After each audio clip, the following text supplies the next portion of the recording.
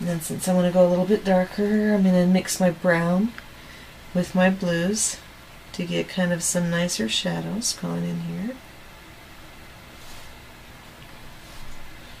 Mix my raw umbers with my burnt umbers and then since I want to have just a little bit of red in it to give it just a little bit more life and color. Okay, since we've got some of those dark colors going here, I'm going to swing it down here and a little bit of a dark color going for his eye. I've got some alizarin crimson mixed in there as well as with my burnt umber and then my blues to give me a nice dark color for his eye. And we're doing the shadow here. And we're also doing some more darker on the eye. Now with that dark, I'm also going to paint the little bit of the light that is also around by his eye there. Okay, so keep your brush strokes in the direction of the fur. So when you get that on there, it'll be kind of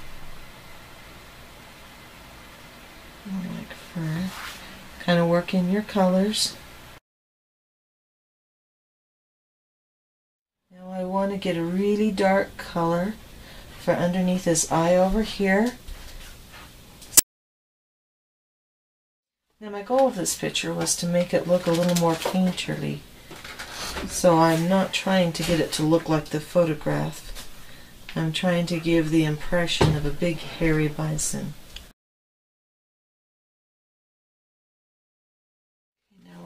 Work a little bit with his nose. And I put a little bit of red in there so it'll show up a little bit red.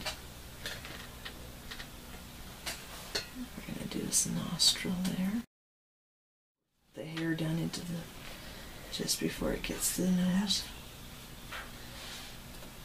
I'm going to take this, mix this in with a little viridian, get a little bit more of a fleshy color going for up and around his, his nose. Differentiate a little bit down around here. Whoops, that's a little bit too light. Again, I mix my darkest colors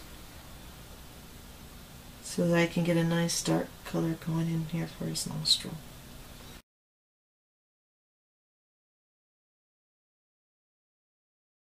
Okay, I had to make sure that I had his nose lined up where his nose needs to be and that it was full around there. I also added in some purple so that I can get some nice purple shadows going right here above where his head is, right here. I like to add uh, a little bit of some odd color here and there. It just uh, brings complementary colors out and sparks and makes it uh, look a little more alive. And so I'll throw in a purple or a red or a blue in some places where normally you would not think that there would be purple or red or blue. I'm also going to throw some blue shadow in here and make that nice and dark and then I will go ahead and add some burnt umber and some raw sienna here and play that up against the blue and the purple and make his head look all nice and shaggy. And down around here I see how there's blues and purples in the shadows down there. So I'm just carrying these blue and purple shadows down along the side of his head there. And making it to where it looks like it's a nice rich dark brown. Or nearly black. And since bison's fur are pretty matted, it's easy just to kind of scrubble your brush around and get it to look kind of like a big woolly bison. A good thing about painting a picture is you can do it the way you feel you want to portray it as or what you want the viewer to see. Um, if you wanted it to look like a photograph, you would take a photograph. But meanwhile, if you want them to get and feel the thick fur, then you can paint it on. And you don't have to get it to look exactly the way you see it, you can get get it to look exactly the way you want them to fill it. I've had art teachers tell me that cameras and pictures lie and we're not to be too caught up in portraying what the camera said because of course the camera lied to you. That happens when you try to get something that's 3D to look two-dimensional. There's, there's quite a few artists out there who they work from life and they generally that's that's the main area that they work from is from life. Me, I don't mind working with photograph. A lot of people do not like working with photographs for the fact that the colors aren't necessarily true to life. I guess that's one reason why I like to throw in odd colors here and there, is to bring out a little bit of more life in the color. I moved the bison's nose out a little bit because it was in, a, in the wrong place.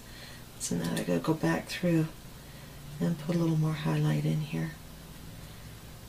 Again, that's one thing I like about oils. If you see something's not working, you can scrape it off and start again or kind of move things over if you need to.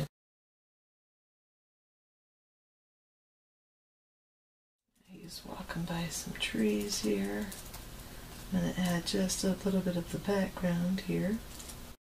Now, with, according to the picture, there is a tree in the picture, but I'm going to change the angle of that tree just a little. I don't want it up and down. I want to work with the angle, so I'm repeating the angle of his nose because we like repetition and balance, or repetition in our picture. So I am just going to do a little bit of repetition here by taking that tree and putting it in. That tree also gives us another direction, kind of barky spots where it looks like the elk have been eating at it. And it looks like there's a darker tree behind it. And just give it some depth here. Show that we've got a forest thing going. Add a few more trees back here in the background. Now to kind of emphasize this horn, we're going to put lighter green shrubbery back here. There, and so you get the play of color.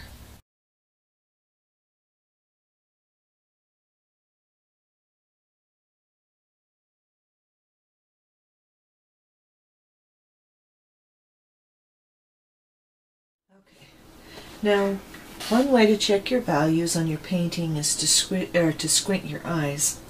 And I noticed in my picture, the values are much lighter in the dark, and that makes the bison stand out. Meanwhile, with my picture here, the values are pretty close together. So what I'm going to do is I'm going to go back, back through and kind of lighten the values here in the background and push the background back just a little because I want I want my bison to stand out a little more.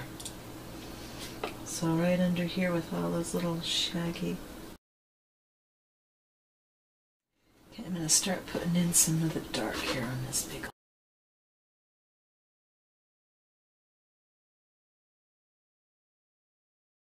Some more going up his shoulder, and then we'll add a little bit more paint to make it look a little scruffy, scraggly. And then I'll add a bunch of highlights because I want this to look like a summer day, not a rainy day. So I'll add some highlights into his fur. Bring out the colors a little so that they'll stand out. Some highlights there on his horn where the light's catching. And a little bit on the other side. And then he's got some catching that here on his nose. What I'm doing is I'm just exaggerating the highlights that I see on this rainy day picture.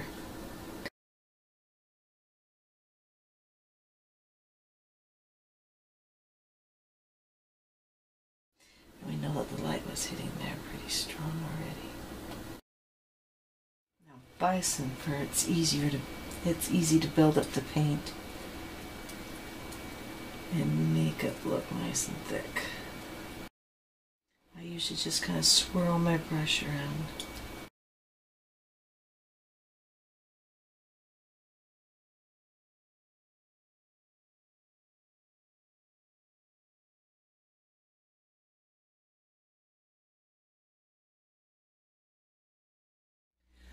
Now one thing I want to do that I want to show you is I want to smooth the background a little bit, make it hazy so it'll sit back in the back.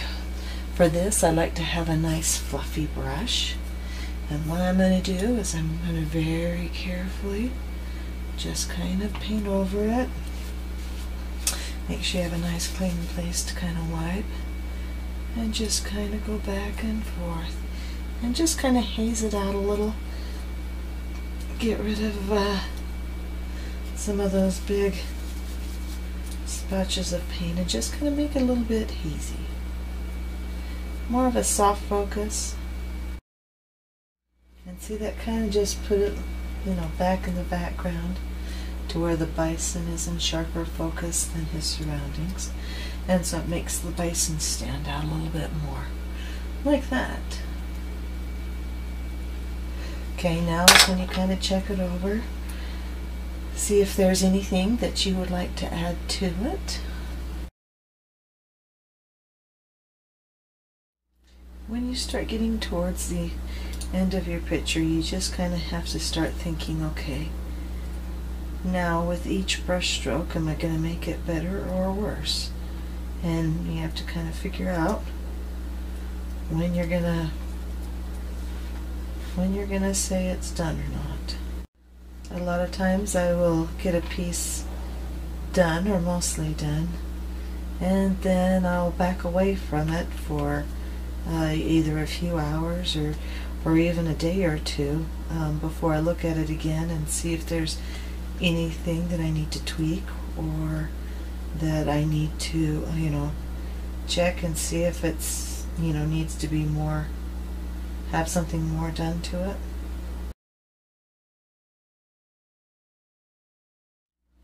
So it's getting pretty close to what I think is kind of is is done.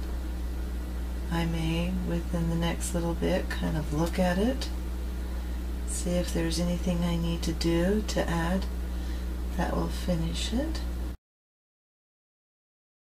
Now Let's test it in our frame and see how it's going to be looking.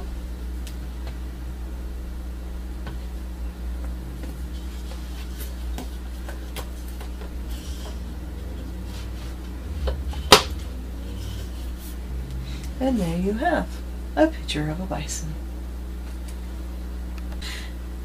And then after you decide that it's done or not, then you just need to take some time and sign the piece, and there you have it. Thank you for watching.